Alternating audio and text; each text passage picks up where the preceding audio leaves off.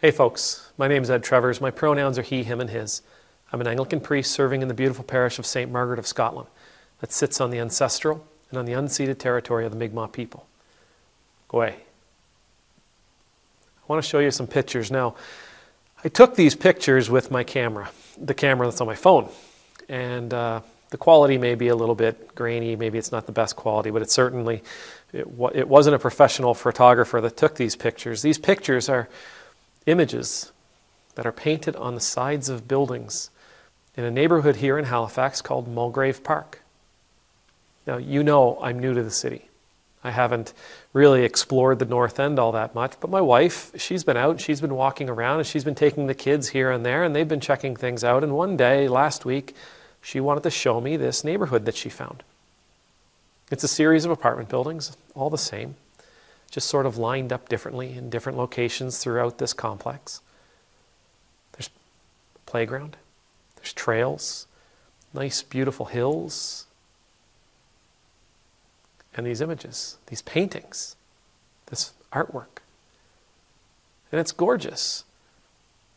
It's absolutely gorgeous. It is inspired. It's wonderful. It shares something to the world about the people who live there, the people who call this their home. It shares something to them. It is work of encouragement. It's work of affirmation and validation. It's work of thanksgiving, remembrance. As I looked at these images, I just I couldn't help but be in awe because I didn't expect to find myself in the middle of such a beautiful collection of work. I have no idea who painted them. I have no idea if it's one person or if it's a dozen people. Doesn't matter.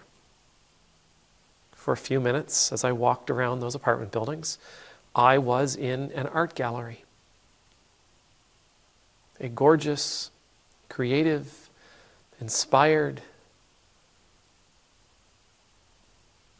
art gallery.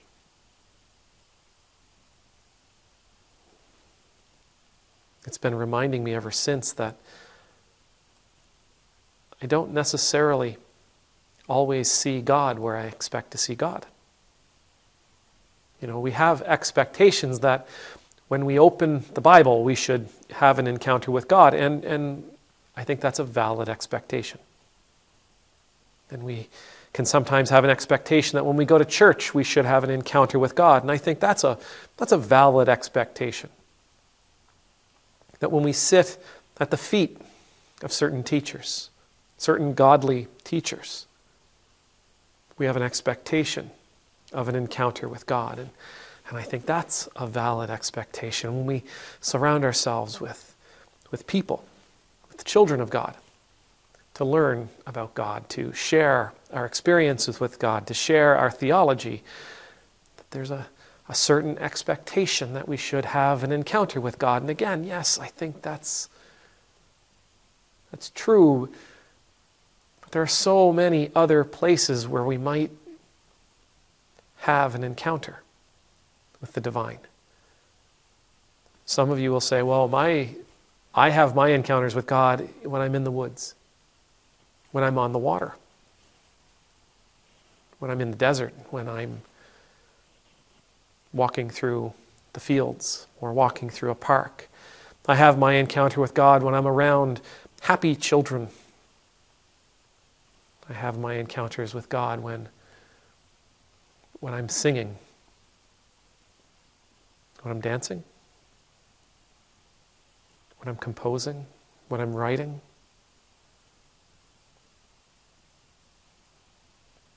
But God is everywhere. And the practice for us, a practice for us, is to keep our eyes and our ears and our hearts opened to that presence, to feel the energy of the Creator around us, above us, below us, beside us, within us. Doesn't matter how loud it is.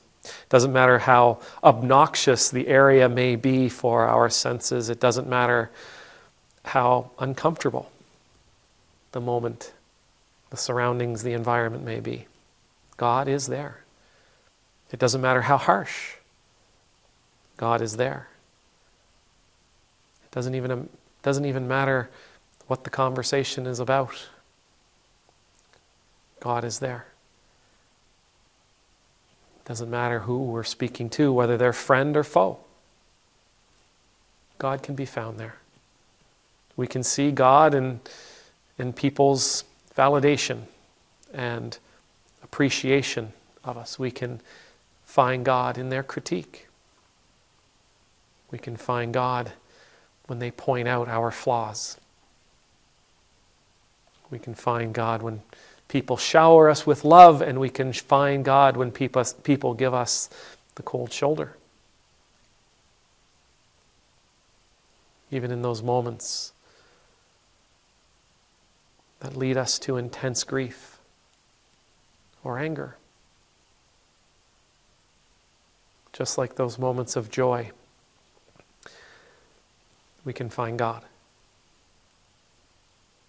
The practice for us is to see the divine in everyone, everywhere, all the time.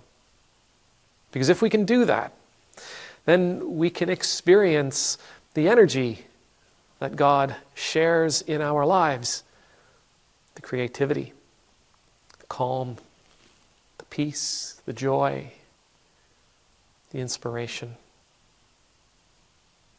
We can hear God speak to us lovingly regardless of the words or the tone that's being shared with us, we can hear God offer us inspiration and vision.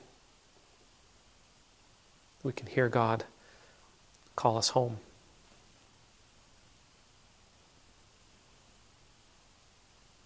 If you're ever in Halifax, please check out Mulgrave Park. The artwork is beautiful. no matter where you are today, I would encourage you to walk with your senses open, to experience this day in such a way that you can in such a way that you can be aware of God's divine presence wherever you may find yourself.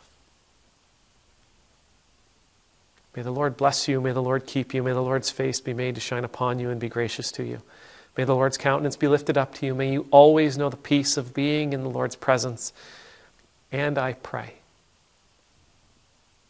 that God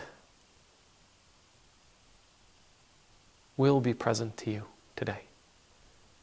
And I pray that God will be present to you today in such a way that it is absolutely indisputable in such a way that you can't possibly miss it. So that you can feel the life and the love and the energy that God provides to us to move through this time. Amen. Nemultus.